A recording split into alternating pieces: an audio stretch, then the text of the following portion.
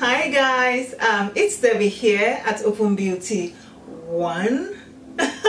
yes, I'm gonna start my foundation series.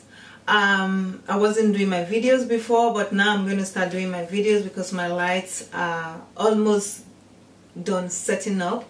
But for what I have now, so I am about to start um, doing my regular videos and also my YouTube videos as well as Instagram.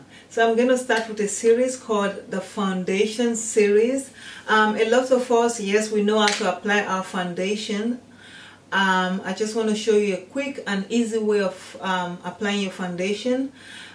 Also, the different kind of coverage for different kind of occasion, the kind of foundation you can use that is sustainable um, for different kind of skin tones and textures as well. Um, it depends on what you want. Like example for me, I love mostly medium coverage. I don't like too much full coverage foundation.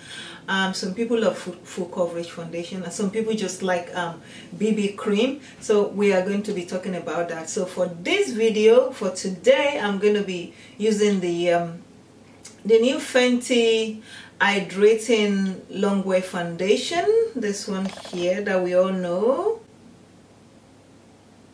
and I'm going to also be using the new Smashbox um, Smashbox Studio Skin Full Coverage 24 Hours Foundation guys. This here.